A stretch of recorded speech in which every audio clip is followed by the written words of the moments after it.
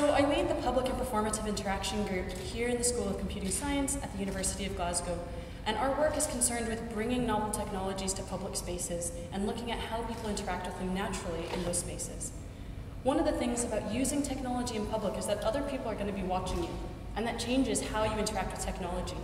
It turns this interaction into a kind of performance. So we can take that performative aspect and create a really compelling experience based on the fact that people are going to be watching you. I'm also really concerned with play in public spaces and how technology can have a playful nature to it. So how can we actually encourage adults specifically to play with something in a public space, explore how it works, and share that experience with others? Technology is all around us. It's everywhere. We see it on our buildings, on billboards, on public displays. But I always wonder, when, at what point do we go too far? And does technology actually start have, having a negative impact on a public space? What kind of value is a display like this adding to a public space? Does it create a positive experience? How could we maybe take control of these displays and create something that's actually positive? Create something that encourages people to play? If we look to digital interactive art, there are numerous examples of different ways that people are just creating experiences that exist for the purpose of cultural exchange, to put a smile on someone's face, to create something that people can share with each other. So with the Public and Performative Interaction Group, we wanted to play with this idea of digital interactive art that has the sole purpose of being playful, of getting people out of their shells, and having something that people can experience together. So to explore this concept, we organized this two-day micro-residency a sort of hackathon for digital interactive art. So I'm a computing scientist, but I teamed up with Glasgow-based artist Audrey O'Brien, who's a recent graduate from Glasgow School of Art with uh, fine arts photography, and we organized a two-day micro-residency. And the format of the workshop was this, that we would bring together a diverse group of people, and over the span of two days, we had to make something that physically worked, something that we could deploy by the end of these two days, which is where the hackathon element comes in. So we had to develop the concept, find a deployment site, and actually make the thing work, make it run. So the first part of getting this off the ground was to determine a site. We brought our workshop team together and we kind of wandered around the Glasgow University campus and we found this space, which you might recognize as being under the Boyd Orr building. It's a dark space, it's quite derelict. At night, it's very poorly lit, and it's a kind of slightly abandoned space on our campus. It's not a very lovely space to go through, and people tend to avoid it. There's graffiti, there's trash, it's, as I say, poorly lit, there's lots of rubbish everywhere. And we thought, is there a way that we can kind of change this space? Can we reappropriate it? Can we take it over with music and light and interaction? And something about this space as well, you'll notice the walls are painted black. Um, it felt very theatrical to us, and we thought there's something we can do with this space. It has a nice feeling, it's just been abandoned. How can we change it? Kind of use this performative interaction idea to really change how people perceived this space. So what we needed to do was change our own perceptions of this space. We wanted to abandon everything that we assumed about this space and completely change our thoughts about it. So we brought all of the workshop participants to this space and we completed a number of kind of exploration exercises to completely change how we viewed about how we viewed this space and what we thought about it. So one of the things that we did was we took these small mirrors and we wandered around the space, but looked only at the space through the mirror. We looked at all the corners, we looked at all the angles that we wouldn't have otherwise seen, and it was actually quite disorienting. We noticed really different things about the space that we would never have thought of if we just walked through it normally. We wanted to completely upend all of our assumptions about this space, and this was one of the exercises we did.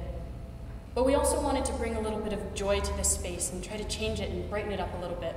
So we actually took these pieces of chalk and we scrawled over all of the surfaces, we drew our footprints around the space, we scribbled on the pillars and the sides and the ground, and we wanted to just see, can we take control of this space a little bit, make it our own, add a few things.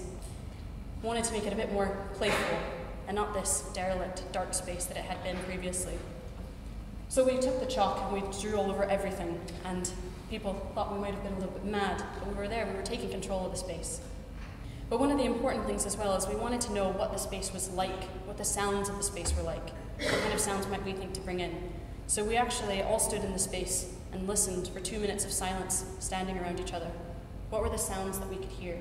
The pigeons, the wind blowing, the cheerful conversations happening in the walkway above, the buzz kind of very poor lights in the space. We wanted to listen to what are the sounds here, because what are we going to bring? How are we going to change this? But again, following the theme from wanting to really change things and change our perceptions, we also walked through the space listening to a variety of different sounds that we could then block out the existing sounds with. So we listened to this kind of carnival music and deep piano music just to change the way that we were looking at this space. And again, completely blocking out the existing audioscape meant that we noticed different things, different visual things, different nooks and crannies in the space. So after having a chance to really explore the space, we were really set on trying to change this space, trying to fill it with light and music and interaction, conversation, and actually draw people down to this space, which is typically avoided on the campus. So the format of the workshop was basically we took our group of people and we locked ourselves in this room for two days to try to develop the concept, make it work, and then actually deploy it in our pop-up exhibit that was at the end of the workshop. The team was pretty diverse. We had artists, designers, computing scientists, interaction designers, and a writer that all came together to kind of work together for this project. And one of the things that we first started gravitating around was this idea of touch as an input technique. And touch is really interesting. It's a very powerful sense, and it's something that we can share with others, but it's also something that has this kind of sense of permission. Am I allowed to go up and touch this? It requires people to kind of get out of their comfort zone a little bit and actually approach something and put their hands out and touch it. And we had a number of capacitive technologies that we were using, that we had available in the workshop um, to explore how we could capture touch and how we could get people to touch things together. We had these capacitive, um, these conductive threads, and we started with the idea of kind of hanging these threads around our workshop space and playing with how people might walk through the threads, how they might touch them, how multiple activations might lead to some kind of interaction. Um, and the idea started to really develop these hanging threads. As the, develop, as the idea um, developed, we got the idea of more bringing it towards a pendulum. And what we had to hand in our workshop space was left over from lunch, which was this banana. And if you've played with the Makey Makey set, then you'll know that bananas are conductive, and these served as the kind of weight for our pendulums. And pendulums have a really nice affordance because if you grab them, you can swing them, you can see the effect of your input, and it had a nice kind of way that we could display the threads and people could see where they were. Display all these interactive threads. So as the pendulum concept became more and more developed, we were ready to actually start fabricating the prototype. We had the expertise, and so what we did was we took these colorful ribbons and we wove the capacitive thread throughout the ribbons, and we hung um, these wooden balls at the base of the pendulums to give them weight and to give them ability to swing. But one of the other goals of this installation was to bring light into the space. And so I'm quite lucky that I have this amazing piece of technology in my workshop that I work with, which is a spherical display. It's incredibly bright, um, and it's a kind of orb that could fit into that space and really bring a lot of light and color and movement to the space, to the dark and derelict space. So in order to make all of these elements come together, we had to utilize everyone's really varied skills in the team. We had about 10 people attending this workshop. So we had the designer and the um, fine arts people working on the pendulums, fabricating them, testing the capacitive input. But we also had the computing scientists who were taking that capacitive input and routing it through the sphere so we had graphics that were going over the sphere during the installation, but then we also had a writer in our team. And the writer worked on staging a narrative that could draw people down into the, the, the area where the installation was and could try to entice people to get down there and actually see what we had done. So the end of two days came really quite quickly, and it was time for deployment. We had to gather up all our stuff and bring it down to the space and see what we could do. So as you see, we kind of were halfway through our, our installation, we had the pendulums up, we bring the sphere there, and everything came together. We filled the space with different lights, with the sphere, with the pendulums. And the way the basic concept worked by the end was that we had the sphere at the center, surrounded by six different pendulums, kind of in a ring around the sphere.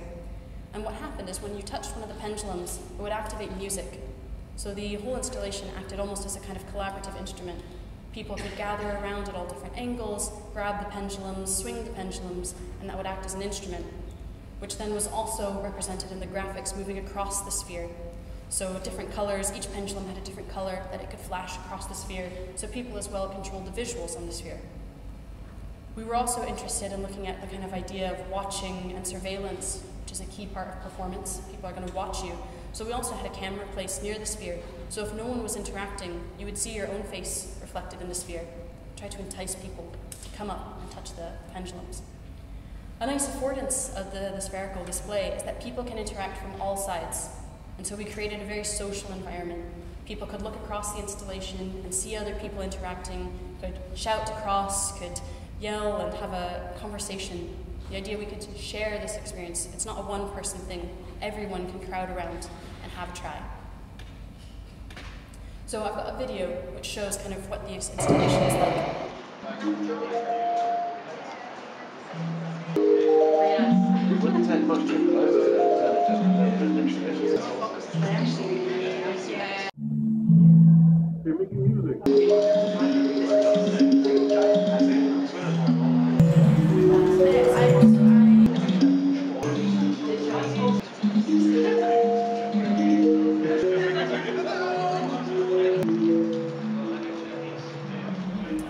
So I think we achieved a lot over the span of two days. Bringing this group together, about 10 people from varied backgrounds, we were able to actually create that working prototype, get the concept together, reflect on the space, choose a deployment site, put it there, and actually invite people from the public to come and interact. I think, I feel really strongly that technology can have a positive impact on public spaces. But I also think we need to critically reflect on the technology that we put there.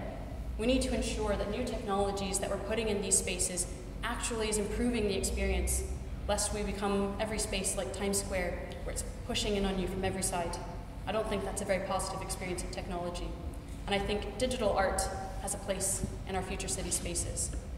So I would urge you, as you go around the city, reflect critically on the technology that's there and look for opportunities to reappro- reappropriate your public space. Thank you.